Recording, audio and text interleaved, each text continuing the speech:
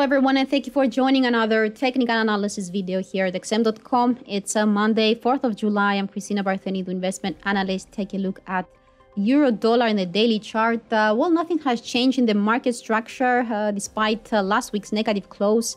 Uh, well, the price is still trading within uh, within this uh, range, just above the bottom of its downtrend, and May's five and a half year low of 1.0 all three uh, 48 uh, discouragingly uh, this consolidation over here hasn't brought any improvement in the uh, technical indicators. Instead uh, the downside reversal in the 20-day uh, moving average which failed to cross above the 50-day MA is suggesting a continuation of the original negative trend. the RSI and the MACD are also pointing to the downside at the moment, suggesting that the next move in the price might be on the downside as well.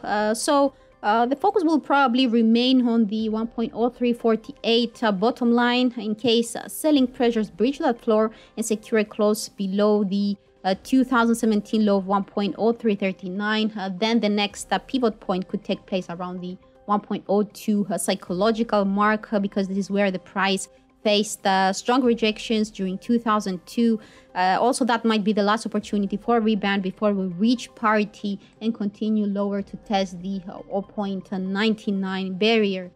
Uh, looking for resistance levels now. Um, uh, well, uh, last week there was a wall between 1.0480 and 1.0520, and uh, also around the 20-day uh, moving average, which the price now needs to overcome to gain a direct access to this descending trend line and the uh, seen around the 23.6% Fibonacci retracement of the downfall from 1.1494 to 1.0348. Uh, that is uh, that Fibonacci level is seen around 1.0620.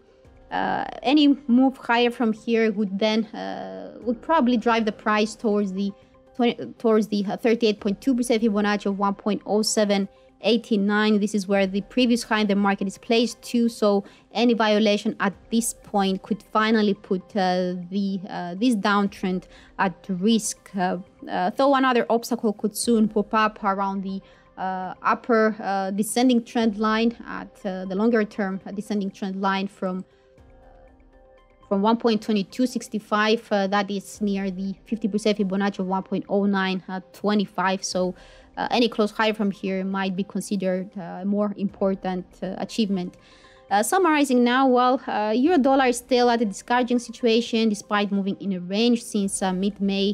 what could trigger the next move in the market now is either a break below 1.0348 or a rally above 1.0620. So that's all for euro dollar today. Thank you for watching. Have a great uh, trading day.